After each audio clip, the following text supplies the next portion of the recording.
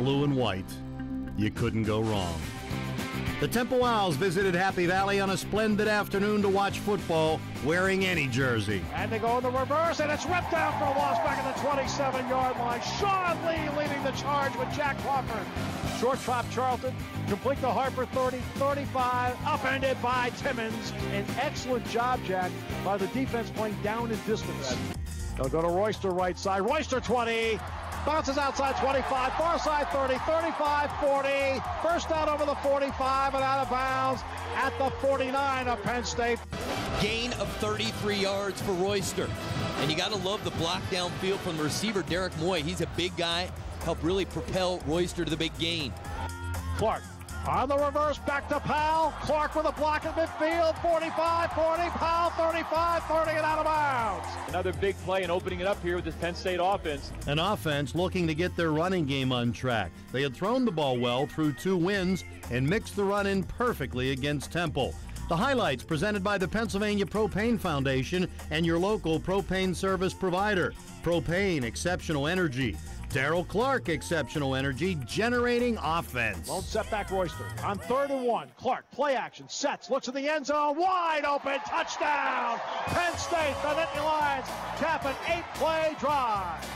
Mickey Shuler for the second consecutive week, is in the end zone. Tell you, the last two weeks, he's been so wide open off the play action fake. Nothing was wide open when Penn State's defense was on the field. The Nittany Lions have by far allowed the fewest points in the Big Ten this season.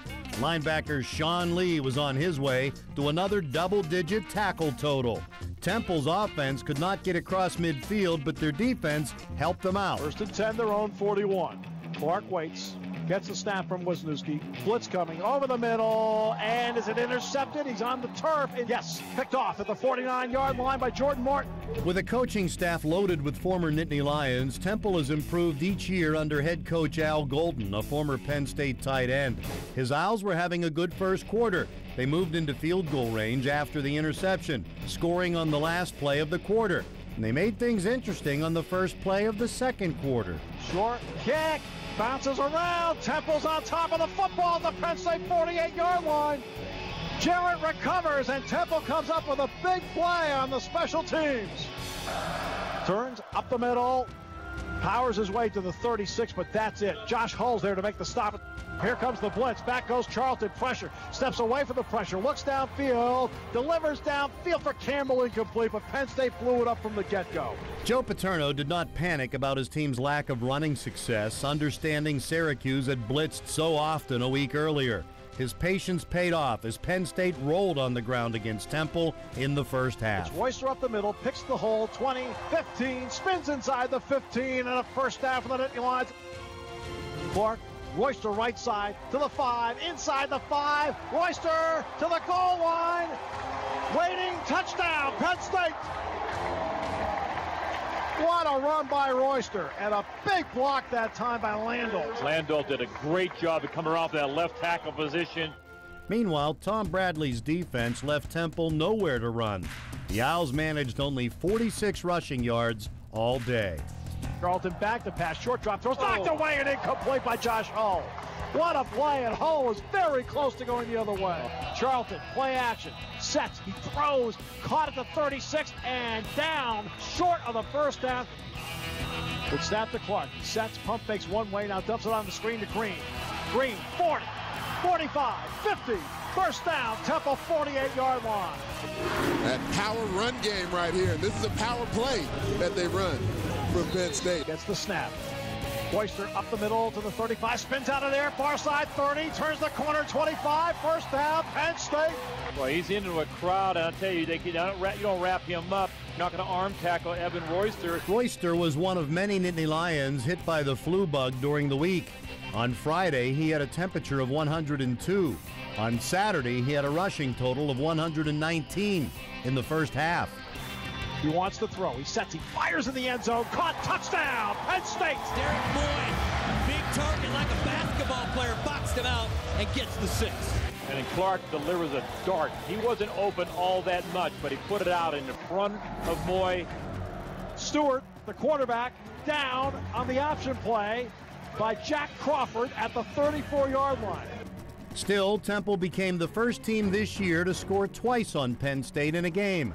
Vaughn Charlton's 36 yard pass to Joe Jones set up a second Brandon McManus field goal, and it was 21 6 with most of the third quarter to play. Stewart to the left, Stewart to the 20. Stewart spun around, drop, fumbles the football. Penn State recovers.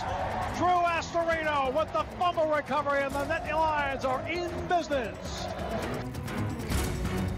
Clark, Royster right side, following Giannis. 15 to the 10. Royster down at the five yard line. More than 105,000 were enjoying the gorgeous central Pennsylvania weather, but on the field, the Nittany Lions were unable to take full advantage of the turnover and get into the end zone.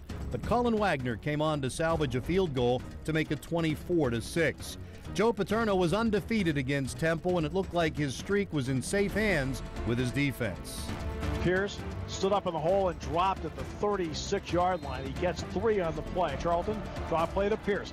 Through is dropped on a fine defensive play. Four man front. Charlton back, stumbles, steps up in the pocket. Down he goes.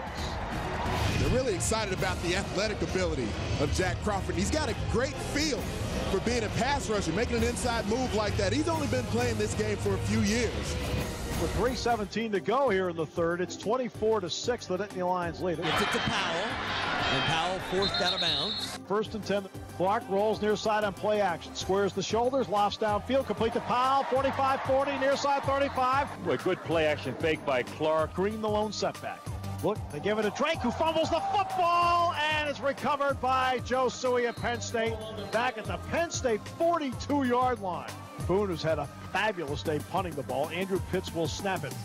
On the money. Here Uh-oh. they come. He goes down. Flag goes down. Roughing the kicker. 15 yard penalty. Automatic. First down. The Nittany Lions took full advantage of Temple's mistake and went straight for the end zone, where another penalty for pass interference had Penn State knocking on the door again. Daryll Clark was finishing up another big day as he spread the ball around to eight different receivers, including freshman Curtis Drake. On favorite jersey day, a lot of jerseys contributed. Back goes Clark. Throws over the middle. It is caught Quarless to the 10. Rolls ahead to the 8 yard line. And now a chance to finish it. Green up the middle. Green to the goal line. Touchdown, Penn State.